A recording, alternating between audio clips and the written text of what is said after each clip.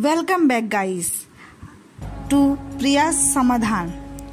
आज मैं आपको पीपल के पत्ते का एक ऐसा टोटका बताने जा रही हूँ, जिससे आपका पर्स और आपकी तिजोरी कभी भी खाली नहीं रहेगी। उसमें सदा ही महा महालक्ष्मी का आगमन बना रहेगा।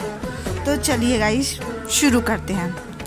शास्त्रों में पीपल का पौधा एक ऐसा पौधा माना जाता है जिस पर त्रिदेवों का आशीर्वाद बना हुआ होता है।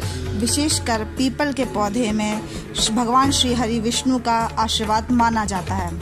इस वजह से उसमें उनकी अर्धांगिनी माता महालक्ष्मी की भी विशेष कृपा होती है।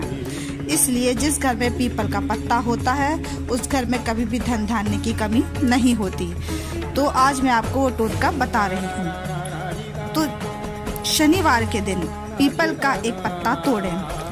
वह उसे गंगा जल से धोकर उसके ऊपर हल्दी के घोल से, अपने हाथ की अनामिका उंगली से ह्रीम लिखकर उसे धूप दीप दिखाकर अपने पर्स में रखें। मात्र इतना आपको करना है।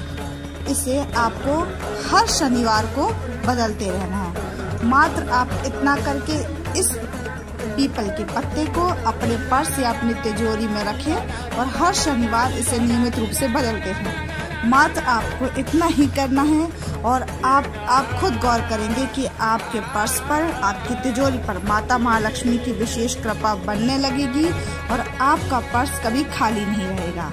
Thank you guys